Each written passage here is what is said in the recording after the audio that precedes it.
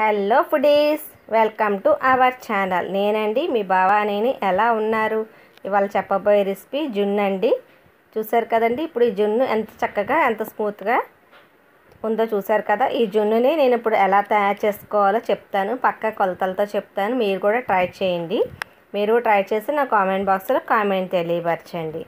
ఇది ముందు రోజు పాలు అయితే కనుక ఫస్ట్ ఫస్ట్ డే పాలు అయితే కనుక ఒక ఒక గ్లాస్ తీసుకుంటే ఆ గ్లాస్కి మూడు గ్లాసులు పాలు తీసుకోవాలి చిక్కటి పాలు మామూలు పాలు.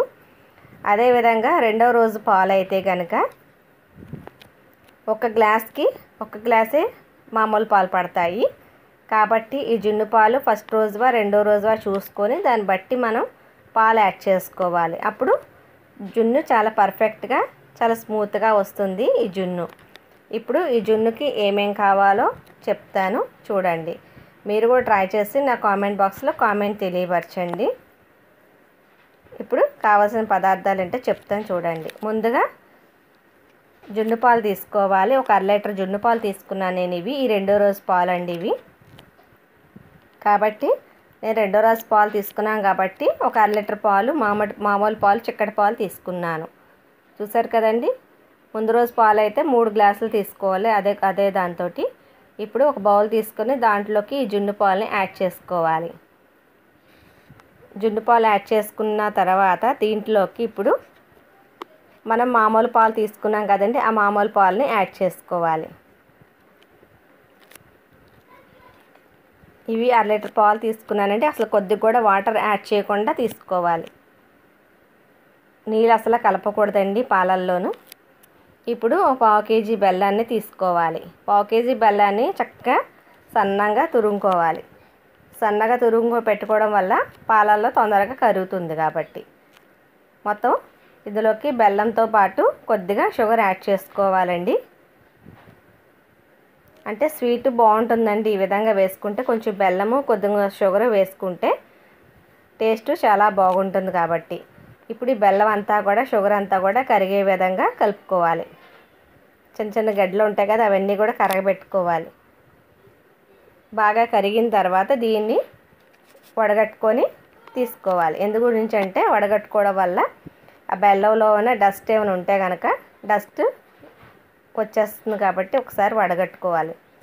బెల్లం అంతా కరిగిన తర్వాత వడగట్టుకున్న తర్వాత ఈ విధంగా ఉంది కదా ఇప్పుడు.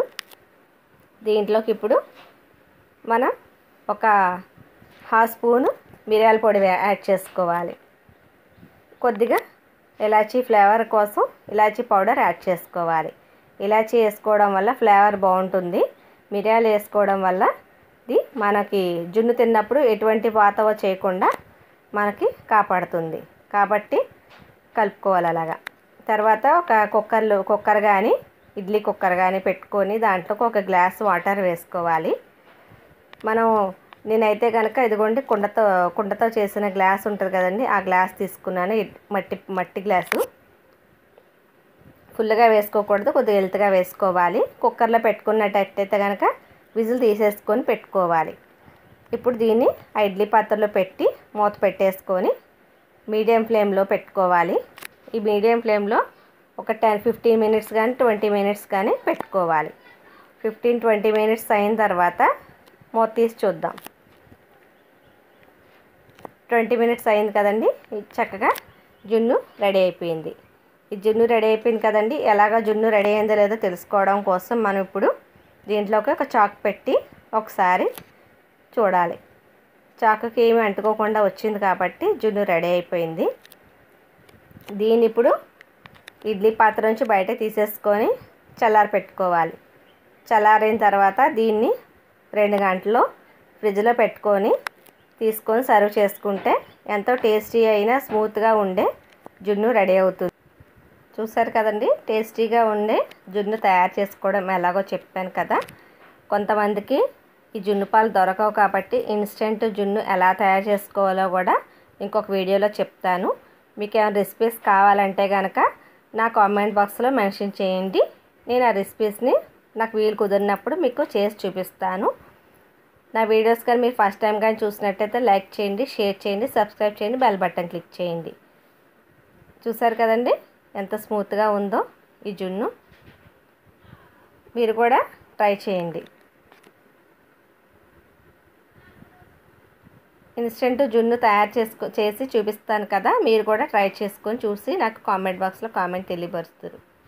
Thanks for watching. బాయ్. కొత్త రెసిపీతో